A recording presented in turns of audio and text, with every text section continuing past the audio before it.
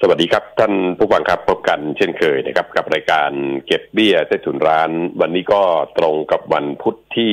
19 พฤษภาคม 2564 นะครับ วันนี้ถ้าเราไปดูถึงตัวเลขของ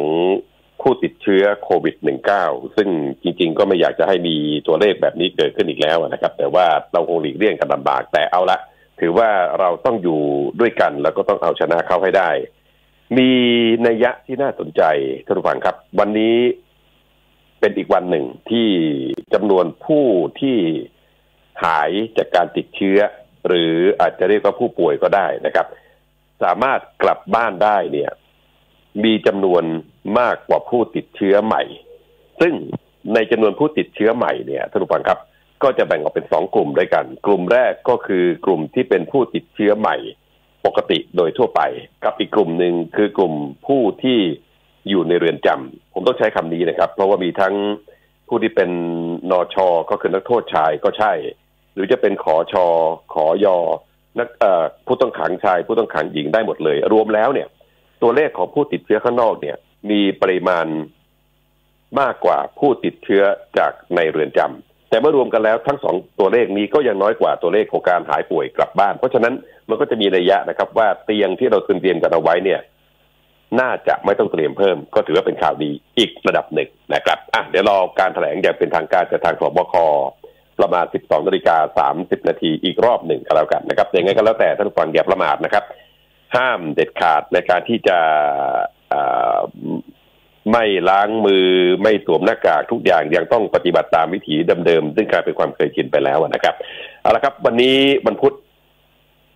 ในช่วงแรกของรายการก็จะเป็นช่วงเจาะเศรษฐกิจเราจะคุยกันเรื่องของโครงการหนึ่งกลุ่มจังหวัดหนึ่งนิคม อุตสาหกรรมเกษตรอาหารนะครับ ตอนนี้มีจังหวัดที่พร้อมจะเดินหน้าด้วยกันแล้วเนี่ยสี่จังหวัดด้วยกัน แนวคิดที่มาที่ไปแล้วก็ผลที่คาดว่าจะได้รับจะเป็นอย่างไร แล้วก็ประโยชน์กับตัวของพี่น้องเกษตรกรเองด้วย พูดคุยกับคุณยงวุฒิสาวพฤกษ์ประธานคณะอนุกรรมการ ส่งเสริมอุตสาหกรรมเกษตรอาหารกระทรวงเกษตรและสหกรณ์นะครับ ในช่วงเจาะเศรษฐกิจครับ ส่วนอีกช่วงหนึ่งช่วงรู้กินรู้ใช้วันนี้เราจะคุยกันถึงเครื่องมือในการทำประมงชนิดหนึ่ง ซึ่งชาวบ้านเขาเรียกว่าไอโง่ แต่ภาษาทางการเขาใช้คำว่า ลอบพับได้นะครับ ซึ่งเป็นเครื่องมือที่เขาห้ามนำไปใช้ในการทำประมงในแหล่งน้ำสาธารณะ เพราะว่าผิดกฎหมายจะผิดได้อย่างไร แต่ในขณะเดียวกันเนี่ยก็จะมีขายโดยทั่วไป เพราะว่าสามารถนำไปใช้ในการทำประมงที่ไม่ใช่ที่สาธารณะได้นะครับ อย่างเช่นจะไปจับกุ้งจับปูจับปลาในบ่อที่เราเลี้ยงเอาไว้นี่อันนี้ไม่เป็นปัญหาอะไร เพราะฉะนั้นแนวทางตัวนี้จะทำให้เกิดความกระจ่างชัดได้อย่างไรเดี๋ยวพูดคุยกันในช่วง รู้กินรู้ใช้นะครับ กับคุณบัญชาสุกแก้ว รองอธิบดีกรมประมงครับ คุณผู้ฟังครับวันนี้รายการเก็บเบี้ยใต้ถุนร้านนะครับ เราจะมอบกระปุกออมสินตู้ ATM จากธนาคารออมสินนะครับจำนวนสองรางวัลด้วยกันให้กับท่านผู้ฟังที่ร่วมสนุกด้วยการตอบคำถามนะครับ ส่งคำตอบของท่านผ่านมาทาง SMS ที่หมายเลข 4221075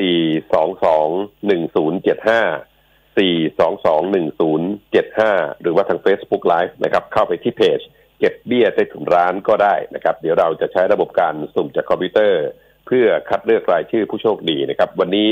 สองท่านสองรางวัลเท่านั้นส่วนจะเป็นใครเดี๋ยวทางรายการจะติดต่อกลับไปเองนะครับ นอกจากนี้ครับทางรายการได้เพิ่มช่องทางการรับชมย้อนหลังนะครับ ผ่านทาง YouTube พิมพ์คำว่าเก็บเบี้ยใต้ถุนร้าน และสำหรับท่านผู้ชม Facebook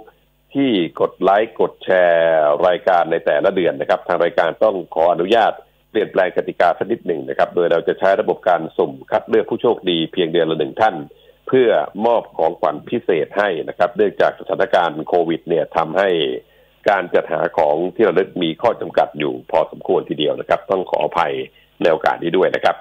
มาถึงช่วงของกิจกรรมครับให้ข้อมูลกับท่านผู้ฟังก่อนเดี๋ยวคำถามจะตามมานะครับ ข้อมูลมีอยู่ว่าธนาคารออมสินนะครับ ได้ออกมาตรการ พักชำระเงินต้นชำระเฉพาะดอกเบี้ยให้กับลูกค้าสินเชื่อธุรกิจ SME ซึ่งหากเป็น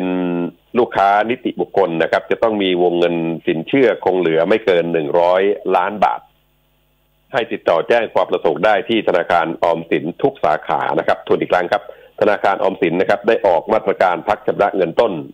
ชำระเฉพาะดอกเบี้ยให้กับลูกค้าสินเชื่อธุรกิจ SME นะครับ ซึ่งลูกค้าสามารถแจ้งความประสงค์ที่จะใช้มาตรการในโครงการดังกล่าวได้ที่ธนาคารออมสินทุกสาขานะครับ ซึ่งโครงการนี้ถ้าเป็นนิติบุคคล จะต้องมีวงเงินสินเชื่อ คงเหลือไม่เกินหนึ่งร้อยล้านบาท นี่เป็นข้อมูลนะครับ ส่วนคำถามครับ เราถามท่านผู้ฟังว่าธนาคารออมสินนะครับ ได้ออกมาตรการพักชำระเงินต้นชำระเฉพาะดอกเบี้ยให้กับลูกค้าสินเชื่อธุรกิจ SME นะครับ โดยสามารถแจ้งความประสงค์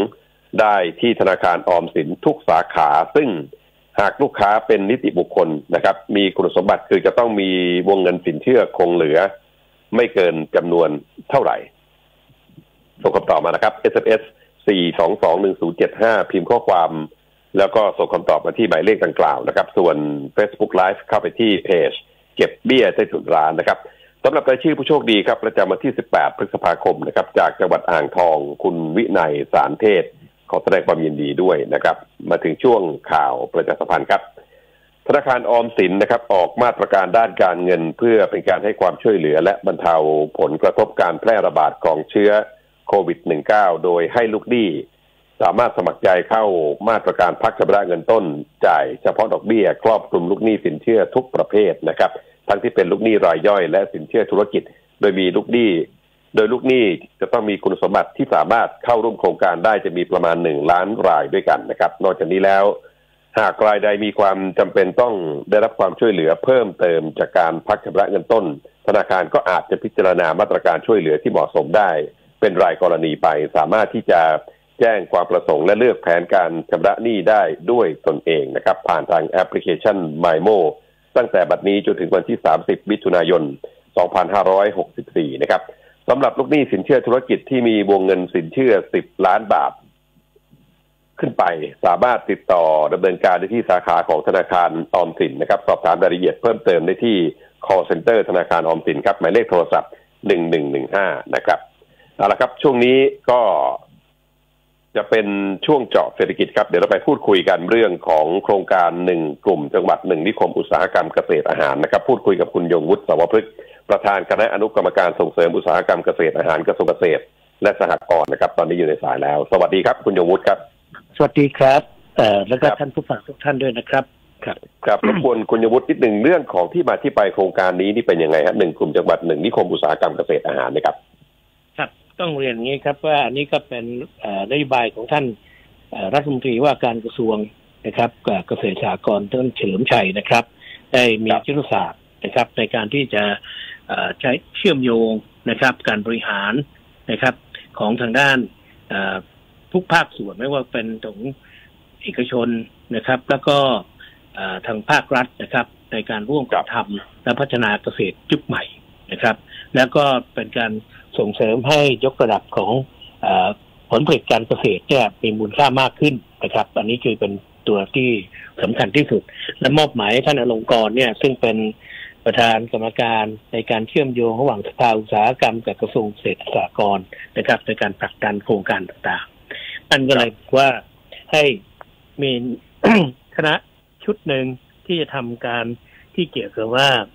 ในการพัฒนาเรียกว่า จะเป็นเขตหรือเป็นนิคม อุตสาหกรรมการเกษตรและอาหารขึ้นมาในกลุ่มจังหวัด 18 กลุ่มจังหวัดทั่วประเทศนะครับครับคือหนึ่งกลุ่มจังหวัดอาจจะมีสามหรือสี่จังหวัดก็ได้ นี่คือเป็นประเด็นที่สำคัญอืมครับครับอ่านั่นนั่นคือที่มานะครับ แล้วก็อ่าครัวับนนี้เนี่ยเอ่อเราก็ทราบดีว่าผลผลิตการเกษตรของเราเนี่ยนะครับเอ่อส่วนมากก็จะเป็นเรียกว่าการเป็นผลผลิตเบื้องต้น นะครับ แล้วก็ครับถ้ามีการแปรรูปก็เป็นการแปรรูปขั้นต้นเท่านั้นเอง ซึ่งอ่ามีคมูรับลค่าเนี่ยเพิ่มเนี่ยน้อยมากนะครับอืมในขณะเดียวกันผลผลิตเนี่ยบางส่วนเนี่ย ก็เมื่อคัดไปแล้วเนี่ยสำหรับการขายผลสดหรือเอ่อผลิตภัณฑ์ที่เป็นของสดเนี่ยนะครับครับ มันก็ได้เกรดเกรดหนึ่งส่วนอีกเกรดหนึ่งเนี่ย ที่มันไม่ได้ราคาเนี่ย อันเนี้ยจะต้องมาทำกับเรื่องของการแปรรูปนะครับอืมก็โดยเฉพาะการแปรรูปให้เป็นมูลค่าสูงด้วย ซึ่งเมื่อแปรรูปไปแล้วเนี่ยเอ่อราคาของมันเนี่ยตั้งแต่สี่ถึงสี่ห้าสิบเท่าเลยนะครับ มันอืมอ่าเนี่ยคือเป็นหัวใจที่สำคัญที่เราสามารถที่จะยกระดับของผลผลิตการเกษตรให้สูงขึ้นนะครับครับซึ่งแค่เราขายตรงนี้ได้มากแน่นอนเกษตรกรก็จะได้รับเงินมากขึ้นนะครับเติบโตมากขึ้นนั่นคือหัวใจที่สำคัญครับ อืมครับแล้วเราเราดำเนินการยังไงบ้างนะครับตอนนี้ฮะคือวันนี้เนี่ยนะครับก็ ได้เอ่อประชุมร่วมกับเอ่อเกษตรจังหวัดนะครับครับในการหาแล้วก็ท่านผู้ว่าราชการจังหวัด เพื่อให้เขาระดมว่ามีกลุ่มจังหวัดไหนที่สนใจที่จะเอ่อเข้ามาทำนะครับ ในตรงนี้ครับในกลุ่ม 18 จังหวัด วันนี้เราก็ได้ขั้นต้นนะครับ คือวันนี้เนี่ยก็มีอย่างเช่นเออของกลุ่มเบียร์สิงห์นะครับ ที่จังหวัดอ่างทอง ซึ่งเขาได้ครับเริ่มลงมือสร้าง และพัฒนาเรียบร้อยแล้วนะครับเอ่อครับสำหรับโครงสร้างพื้นฐานแล้วก็ขอการนิคมอุตสาหกรรมเนี่ยเป็นนิคมอุตสาหกรรมเรียบร้อย และมีที่จังหวัดอุดรธานี เช่นเดียวกันครับ ก็ได้เริ่มสร้างครับและขอการนิคมเป็นเอ่อเขตนิคมเอ่อเป็นนิคมอุตสาหกรรมเรียบร้อยนะครับอืมแล้วก็มีที่เชียงใหม่ที่ยื่นมานะครับ ก็เขาก็จะมีในกลุ่มจังหวัดที่ใกล้เคียงกันในของภาคเหนือในกลุ่มเชียงใหม่นะครับ อันนี้เป็นครับของสภาอุตสาหกรรม เมื่อกี้ที่ผมพูดมาคืออุดรกับของทางเอ่อที่อ่างทองเนี่ยเป็นเอกชนบริษัทเดียวอ่านะครับครับแต่ว่าอันนี้ก็เอ่อที่เชียงใหม่เนี่ยก็จะเป็นกลุ่มของสภาอุตสาหกรรม ซึ่งเขามีเครือข่ายเชื่อมโยงกันก็จะเอ่อรวมอยู่ในหลาย ๆ จังหวัดที่อยู่ใกล้ ๆ กันเนี่ยนะครับ ตั้งขึ้นมาเป็นเขตนิคมนะครับ แล้วก็เราต้องเรียนอย่างนี้ครับว่าไม่ได้ส่งเสริมแต่ขนาดใหญ่อย่างเดียว มันไม่มันครับไม่เวิร์กเพราะบางทีเนี่ยเอ่อ ผู้ประกอบการหรือผู้ที่มีความตั้งใจเนี่ยไม่มีพื้นที่ขนาดใหญ่นะครับ แล้วก็เกษตรกรเนี่ยการที่จะเข้าไปร่วมด้วยเนี่ยก็ศักยภาพเนี่ยของเกษตรกรก็จะจำกัดนะครับเพราะนั้นเนี่ยเราถึงได้กำหนดพื้นที่ในการพัฒนาที่เรียกว่าเป็นเขตนะครับแล้วก็หรือเป็นนิคมเนี่ยแบ่งเป็นสี่ระดับด้วยกัน ระดับแรกคือขนาดห้าถึงห้าสิบไร่นะครับ ช่นเราอาจจะใช้ที่มหาวิทยาลัยโรงเรียน หรือแม้กระทั่งวัดก็ตาม สามารถที่จะช่วยนะครับ เกษตรกรหรือชาวบ้านแถวนั้นเนี่ย ในการพัฒนาผลผลิตผลิตภัณฑ์นะครับ ออกมาจำหน่ายได้นะครับ อันนี้นี่คือจะได้ช่วยยกระดับทางด้านชุมชนที่ใกล้เคียงขนาดเล็กได้ ระดับที่สองก็คือตั้งแต่ห้าสิบไร่ถึงสองร้อยไร่นะครับ ก็ใหญ่ขึ้นมาอย่างเช่นบางมหาวิทยาลัยเนี่ย เขาก็มีพื้นที่ประมาณห้าสิบกว่าไร่ที่เขาสามารถทำได้นะครับ ซึ่งเขาจะต้องโดยเฉพาะอย่างพวกราชพัฒเนี่ยเขาก็มีนโยบายที่ว่าจะต้องดูแลนะครับ ชุมชนท้องถิ่น เป็นตามพระราชนโยบายของพระองค์ท่านนะครับ ที่หมายหลายราชพัฒจะต้องดูแลท้องถิ่น อันนี้เขาก็จะมีพื้นที่สำหรับเพาะปลูกพื้นที่สำหรับเลี้ยงสัตว์ หรือทำการประมงนะครับในกลุ่มย่อยก็จะช่วยยกระดับพวก ชาวบ้านแถวนั้นเนี่ยให้มาทำงานร่วม แล้วก็ใช้องค์ความรู้ของมหาวิทยาลัยเนี่ยถ่ายทอดเข้าไปนะครับครับหรือแม้กระทั่งโรงเรียนก็ตาม อันนี้ก็ทำได้เช่นเดียวกันเอ่อระดับถัดไปก็เรียกว่าขนาดเมื่อกี้คือขนาดเล็กขนาดกลางและขนาดใหญ่คือประมาณสองร้อยถึงพันไร่นะครับ อันนี้ก็อย่างเช่นกลุ่มจังหวัดเช่นเอ่อที่จังหวัดร้อยเอ็ดท่านผู้ว่าราชการจังหวัดเนี่ยก็ได้รวบรวม นะครับพื้นที่แล้วก็ประสานกับหน่วยเอกชนนะครับ แล้วก็หน่วยข้าราชการทั้งหลายเนี่ยเอ่อกำหนดจุดนะครับ ของท่านก็จะมีพื้นที่ประมาณห้าร้อยกว่าไร่นะครับ ที่จะทำเป็นนิคม โดยท่านจะทำเป็นนิคมทางด้านของเออข้าวทั้งหมดเลย คืออย่างครับที่เราทราบดีนะครับ แถวนั้นเนี่ยไม่ว่าจะเป็นร้อยเอ็ดกราสินธุ์นะครับขอนแก่นหรืออะไรเนี่ย พวกนี้ก็จะเป็นเรื่องของเออที่ปลูกข้าวมีชื่อเสียงมากคือข้าวหอมมะลิของเรานะครับใช่ครับ อันนี้ก็จะเป็นเขตอุตสาหกรรมในการที่แปรรูปตลอดเขาเรียกว่าวาลิวเชน หรือว่านะครับเอ่อตลอดห่วงโซ่ของของข้าว ตั้งแต่น้ำมันรำข้าวนะครับ เอาข้าวไปแปรรูปเป็นแครกเกอร์เป็นอะไรต่างๆนะครับ ที่มีมูลค่าเพิ่มขึ้น นอกจากครับเอ่อขายขายข้าวที่เป็นเอ่อข้าวหอมแล้ว ซึ่งวันนี้เนี่ยเรามีเทคนิคนะครับ ที่สามารถที่จะวัดค่าความหอมของข้าวได้นะครับ เหมือนกับถ้าเปรียบเทียบง่ายๆเหมือนเออการใช้ไฟเบอร์ห้านะครับ ความหอมก็จะมีระดับต่างๆกันใช้เครื่องมือวิทยาศาสตร์ในการที่วัด เพราะฉะนั้นเราก็จะฉีกแนวออกไปจากประเทศกลุ่มเพื่อนบ้านของเราที่มีข้าวหอมนะครับ ว่าเราสามารถวัดตรงนี้ได้ ซึ่งมีการจดลิขสิทธิ์ตรงนี้อยู่นะครับครับอันนี้ก็เป็นเครื่องมืออีกเครื่องมือหนึ่งนะครับ เพราะฉะนั้นเนี่ยคือแต่ละกลุ่มจังหวัดเนี่ย กลุ่มจังหวัดไหนมีศักยภาพมีที่มีผ ลิตภัณฑ์ของตัวเอง หรือผลผลิตของตัวเองที่เป็นเอกลักษณ์อัตลักษณ์นะครับ ก็จะเอามันมานำเรื่องของแปรรูปตรงจุดนี้ เพราะฉะนั้นเนี่ยแต่ละกลุ่มจังหวัดเนี่ยก็จะมีโปรดักที่ไม่เหมือนกันหรือผลผลิตหรือผลิตภัณฑ์ที่ไม่เหมือนกันแตกต่างกันออกไปนะครับเนี่ยอย่างเช่นภาคตะวันออก อาจจะเป็นทางด้านเรื่องผลไม้เป็นหลักใช่ไหมครับ หรือทางภาคใต้ก็อาจจะเป็นประมงนะครับภาคตะวันออกก็ในบางจุดก็เป็นประมงด้วย อย่างนี้เป็นต้นนะครับ นั้นเนี่ยนี่คือคือสิ่งที่เรากำลังทำนะครับ อืมครับหมายถึงว่าเรื่องการแบ่งกลุ่มเนี่ยเราต้องตกผลึกกับทางแต่ละพื้นที่เพื่อดูความเหมาะสมด้วยนะฮะว่าจังหวัดไหนควรจะเข้าไปอยู่ในคลัสเตอร์กลุ่มไหนอะไรยังไงนะครับ ใช่ครับ คือตัวของจังหวัดเองเนี่ย คือตอนนี้เนี่ยเกษตรจังหวัดกับอุตสาหกรรมจังหวัดเขาก็จะมีข้อมูลจังหวัดว่า แต่ละจังหวัดเนี่ยมีผลผลิตเช่นหนึ่งผลผลิตที่เป็นผ่านทางกำหนดภูมิศาสตร์คือ GI อย่างนี้เป็นต้นเนี่ยนะครับใช่ไหมฮะอ่าอันนี้ก็มีหมึกกลุ่มหนึ่งและอันใดเป็นสี่อันดับแรกที่เป็นผลผลิตที่เขาส่งออกหรือขายได้มากที่สุดในกลุ่มจังหวัดเขานะครับเพราะฉะนั้นข้อมูลพวกนี้มันจะมีอยู่แล้วนะครับ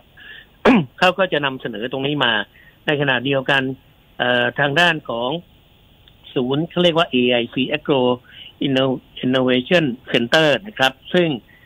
แต่ละกลุ่มจังหวัดเนี่ยเขาก็จะเชื่อมโยงกับมหาวิทยาลัย นะครับ ซึ่งจะมีเทคโนโลยีในการที่จะช่วยแปรรูปหรือสร้างผลิตภัณฑ์ใหม่ ๆ ขึ้นมานะครับก็สามารถที่จะประสานตรงจุดนั้นเนี่ย เพราะการทำงานนี่มันจะเชื่อมโยงกับศูนย์ AIC นะครับ ในเจ็ดเจ็ดจังหวัดอยู่แล้วนะครับเพราะฉะนั้นก็เขาก็จะเอาผลผลิตที่เขาเป็นสี่อันดับแรกอย่างที่ผมเรียน หรือว่ากลุ่ม GI เนี่ยนะครับไปคุยกับทางศูนย์ AIC แล้วก็ดูว่าควรจะสร้างผลิตภัณฑ์ไหนดี ที่เป็นเอกลักษณ์อัตลักษณ์ของตัวเอง ข้อสำคัญคือมีตลาดด้วย โดยตลาดนี่เราต้องดูเรื่องของว่าทั้งในประเทศซึ่งสามารถขายข้ามข้ามภาคกันได้ เช่น ภาคเหนือไปขายภาคใต้สินค้าภาคใต้ไปขายภาคเหนืออะไรอย่างเงี้ยนะครับนั่นคืออันหนึ่งละอันที่สองคือเรื่องของต่างประเทศนะครับอ่าซึ่งตอนนี้ก็จะมีกระทรวงพาณิชย์เนี่ยนะครับ เชื่อมโยงให้นะครับ คือต้องใช้การตลาดนำคือถ้าเราผลิตสินค้าได้แต่ว่าไม่มีตลาดก็ เสร็จเหมือนกันนะครับ เพราะนั้นนี่เป็นหัวใจสำคัญครับครับเพราะฉะนั้นเราเราจำเป็นไหมครับว่าถ้าจะเป็นการเพิ่มสินค้าของเราเนี่ยอาจจะต้องใส่เขาเรียกอะไรนะฮะเอ่อที่จุดที่มาที่ไปทางยุทธศาสตร์อะไรพวกนี้ฮะทางทางภูมิศาสตร์ครับครับก็คือต้องใส่ด้วยครับ GI ใส่ด้วยเลยวันนี้เนี่ยเราสามารถที่จะทำเอ่อเรียกว่า differentiate หรือว่าไอฉีกแนวเพิ่มขึ้นไปเนี่ย เราสามารถที่จะใช้ smart labeling หรือหรือฉลากอัจฉริยะนะครับ ซึ่งเราสามารถวัดคุณค่า คุณค่าทางโภชนาการของอาหาร ซึ่งแตกต่างจากที่วันนี้เขาทาเช่นเขาบอกว่ามีคอเลสเตอรอลเท่านั้น มีไขมันเท่านั้น มีไอ้นี่เท่านี้แค่นั้นไม่ใช่ เราสามารถที่จะบอกได้ว่าในเขาเรียกว่าหนึ่ง serving ต่อหนึ่งรับประทานนะฮะขนาดรับประทานเช่นหนึ่งช้อนชาหนึ่งช้อนอะไรอย่างเงี้ยนะครับมีวิตามินตัวไหนนะครับ เช่นวิตามินเอวิตามินบีวิตามินซีนะครับ เท่าไหร่นะครับ มีแร่ธาตุตัวไหนนะครับ เช่นฟอสฟอรัสในแคลเซียมนะครับ สังกะสีพวกนี้บอกได้หมดแล้วเพียงบอกได้ว่ามี antioxidant อะไรนะครับโอ้มันสามารถที่จะบอกได้หมดเลยคือเดี๋ยวนี้ก็ถ้าใช้มือถือนะครับมันสแกนปั๊บไอ้พวกนี้มันก็จะขึ้นข้อมูลในมือถือเลย ว่า สิ่งที่เรารับประทานไปเนี่ยประกอบด้วยอะไรบ้างเพราะนั้นคุณค่าทางโภชนาการเนี่ยจะออกมาชัดเจนดังนั้นผู้บริโภคเมื่อเห็นแล้วเนี่ย วันนี้เขารับประทานโดยเฉพาะจุดสำคัญคือในประเทศไทยของเรานะครับเราชูเรื่องว่าอาหารคือยานะครับ คือต้องเรียนอย่างนี้ครับ ท่านว่าบ้านเราเนี่ย ใช้พืชผักสูนไพรในการปรุงเยอะเหมือนกันนะครับ อ่าอันนี้ก็เป็นจุดเด่นอันหนึ่งแหละ แต่แน่นอนในการแปรรูปเนี่ย ถ้าส่งไปต่างประเทศมันก็ไม่ใช่ว่าพวกต่างชาติก็จะนิยมทานพวกพืชผักสมุนไพรเสมอไปใช่ไหมครับปัญหาจะต้องไปทำให้พอดีเหมาะกับตลาดของเขา แต่นี่ก็เป็นจุดเด่น ซึ่งจะทำให้เขารู้จักเหมือนกันในการที่เขาเรียกว่าทำโปรปาแกนด้านะครับ แล้วก็สื่อสารประชาสัมพันธ์ให้รู้ว่าจุดเด่นของอาหารของเราคืออะไรในการที่แปรรูปไปแล้ว แต่ว่าถ้าจะเป็นอย่างเช่น เป็นข้าวไปทำเป็นแครกเกอร์ ไปทำเป็นโปรตีนบาร์อะไรพวกเนี้ย มันก็คงจะไปชูชูไอ้ตรงจุดด้วยเรื่องพืชผักไอ้พวกสมุนไพรอะไรไม่มากไม่ค่อยได้ นอกจากว่าค่าของมันเรื่องของวิตามินเหล็กแร่ธาตุอะไรต่างๆนะฮะมันก็ต้องฉีกแนวกันออกไปตามตลาดนะครับ ในการที่จะสื่อเขาครับครับครับอะเพราะฉะนั้นโครงการนี้เป็นประโยชน์กับเกษตรกรแน่นอนนะฮะก็ทีนี้การการเข้าร่วมของเกษตรกรนี่จะเป็นยังไงคุณโยบุตรครับ เอ่อคือเราก็มีโมเดลนะครับนั่นคือการที่จะตั้งเขตอุตสาหกรรม หรือนิคมอุตสาหกรรมขึ้นมาเนี่ย มันก็คือตัวกลางน้ำตัวต้นน้ำคือผลผลิตจากภาคการเกษตร ไม่ว่าจะเป็นพืชผัก หรือว่าสัตว์นะครับ หรือสัตว์น้ำสัตว์บกสัตว์น้ำก็ตามเนี่ยซึ่งจะป้อนป้อนมาก็เรียกว่าเป็นฟีดนะครับ ในการที่ป้อนเข้าทางการผลิตเนี่ย ราะนั้นเนี่ยการเชื่อมโยงเนี่ยมันจะต้องมี เราถึงบอกว่า เออเราถ้าเป็นอย่างเรื่องของโมเดลการเกษตรนะครับ เราใช้ของเกษตรพอเพียงของพระองค์ท่านนะครับ ก็คืออย่างเช่น เชื่อมโยงโมเดลโคกหลังนาเนี่ยเข้ามาได้ก็คือการสร้างนิคมนะครับ ของเกษตรกรนะครับ ผ่านสากลการเกษตรก็ได้ หรือเป็นวิสาหกิจชุมชน หรือเป็นวิสาหกิจเพื่อสังคมที่เขารวมตัวกัน ใช่ไหมครับ พื่อทำเป็นนา หรือเป็นพื้นที่แปลงหนึ่งจะเป็นแปลงใหญ่แปลงกลางก็ได้นะครับ รวมพลังกัน แล้วก็มีการแบ่งสัดส่วนให้เหมาะ เพื่อป้อนสร้างผลผลผลิตป้อนเข้าไปในโรงงานนะครับ ที่เป็นเขตนิคมอุตสาหกรรมอย่างที่ผมเรียนเนี่ย มันจะต้องมีโมเดลนี้เชื่อมโยงครับ นั่นคือหัวใจที่สำคัญ แล้วมันก็จะได้ช่วยลดปัญหาเรื่องของต้นทุนด้วยนะครับ ต้นทุนของคือมันเหมือนกับ contract farming อะ นะครับในการที่เชื่อมโยงรับผลผลิตตรงนี้โดยตรง เพราะฉะนั้นอย่างที่ผมเรียนตอนต้นนะครับว่าในแต่ละพื้นที่เนี่ย ผลผลิตเขาจะต้องมีเอกลักษณ์อัตลักษณ์เฉพาะตัว เพราะฉะนั้นเราก็จะคัดเลือกเรื่องของอผลผลิตเนี่ยนะครับ ที่มันเกาะเกาะกลุ่มอย่างที่ผมเรียนว่าอย่างเช่นสี่อันดับแรกที่ขายดีที่สุด หรือสินค้าที่มัน GI อยู่ในไอตัวโมเดลนะครับ ของไม่ว่าจะเป็นของโคกหลงนาหรืออะไรที่ผมนำเรียนเนี่ยได้เลย นะครับ เพื่อเพื่อสร้างผลผลิตป้อนนะครับ นี่นี่คือสิ่งที่เป็นหัวใจที่สำคัญ เพราะฉะนั้นโครงการนี้ก็จะเป็นการเชื่อมโยงนะครับ ความยั่งยืนนะครับนะที่ที่สำคัญที่สุด แล้วเป็นโมเดลที่เป็นเอ่อก็เรียกว่า circular economy แล้วก็เป็น green economy ด้วยนะครับ อืมครับครับเดี๋ยวติดตามกันเดี๋ยวโอกาสหน้าคุยกันใหม่ครับเรื่องนี้ยังยาวครับคุณยงบุตรใช่คุณมากครับ ครับมีอะไรก็สวัสดีครับ ครับสวัสดีครับขอบคุณครับ กับคุณยงวุฒิสาวพฤกษ์นะครับ ประธานคณะอนุกรรมการส่งเสริมอุตสาหกรรมเกษตรทหารกระทรวงเกษตรและสหกรณ์นะครับทุกท่านครับคุยกันในช่วงนี้ ก็จะได้เห็นทิศทางว่าแนวโน้มสินค้าเกษตรในบ้านเรานี่ไม่เบาทีเดียวนะครับ สามารถที่จะขยับขยาย กลายเป็นธุรกิจระดับโลกได้แน่นอนนะครับ นี่เป็นช่วงเจาะเศรษฐกิจครับเดี๋ยวกลับมาช่วงหน้าท่านผู้ฟังครับ ช่วงรู้กินรู้ใช้วันนี้ว่ากันในเรื่องของการห้ามใช้เครื่องมือลอกพับได้ ซึ่งเป็นเครื่องมือในการทำประมงเนี่ยนะครับ สามารถใช้ในแหล่งน้ำที่เป็นของส่วนบุคคลได้ แต่ว่าห้ามใช้ในแหล่งน้ำสาธารณะนะครับทำไมถึงเป็นเช่นนั้น เดี๋ยวมาคุยกันในช่วงรู้กินรู้ใช้กับคุณบัญชาสุกแก้ว รองอธิบดีกรมประมงนะครับ ในช่วงรู้กินรู้ใช้ส่วนคำถามวันนี้ครับ เราถามท่านผู้ฟังว่า ธนาคารออมสินนะครับได้ออกมาตรการพักชำระเงินต้น และชำระเฉพาะดอกเบี้ยให้กับลูกค้า สินเชื่อธุรกิจ SME โดยมีนิติบุคคลที่มีวงเงินสินเชื่อคงเหลือไม่เกินเท่าไหร่นะครับ ให้ส่งคำตอบมานะครับ นิติบุคคลจะต้องมีวงเงินสินเชื่อคงเหลือไม่เกินเท่าไหร่ ให้ส่งคำตอบมา SMS 4221075 Facebook Live เข้าไปที่เพจ เก็บเบี้ยใต้ถุนร้านนะครับ เดี๋ยวเราพักกันตรงนี้ครับ สักครู่ครับ